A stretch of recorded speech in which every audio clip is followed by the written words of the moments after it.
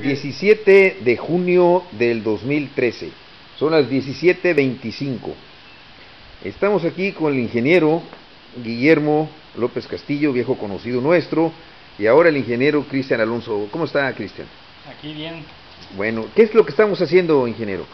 Estamos haciendo las pruebas de las resistencias ¿En qué sentido está probándose? para ver qué capacidad de calentamiento tiene. Ah, estamos hablando de la resistencia que usted diseñó y construyó, Sí. ¿verdad? ¿Qué es lo que, por qué está metiéndose agua de este lado? De este lado. Ah, es para probarla el agua. Para probar, Ajá. Para no hacer las pruebas con aceite. Pero no está saliendo agua, ¿así es? Ahorita ya se llenó el nivel que queremos. Ah, correcto. O sea, está emulando. Aquí el- va a entrar el aceite Ajá. y por acá va a salir. Sí.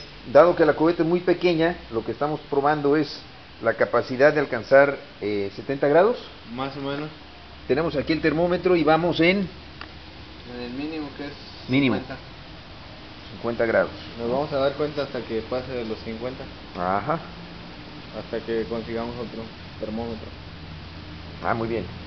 Anda usted ya en pláticas para construir otro, diseñar y construir otro, ¿no? Sí. Correcto. ¿Y siempre consiguió, usted eh, pudo fabricar la tapa o hubo que adquirirla?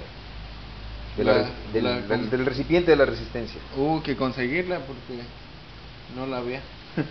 Y costó trabajo, ¿verdad? Sí. Es el problema aquí en Chetumal, pero problema que para nosotros no es irresoluble, al contrario. Eh, después de esta prueba, ¿cuál viene? Con aceite. Con aceite. O sea, ya emular cada vez más la realidad. El reactor ya está todo listo, ¿verdad? Sí, ya está la mayor parte. ¿Todavía no está pegada las, las conexiones o sí? Eh, solo faltan como dos. Pero estamos nivelándolo para que quede bien. Y ya ahí se va a conectar todo. ¿El sistema qué, perdón? El sistema eléctrico, lo que es el sistema de control. Ah, ya. Para controlar las resistencias o la bomba. Es lo que va a ir en el tablero, ¿verdad? Sí. Ahí va a ir los indicadores. Y el termómetro.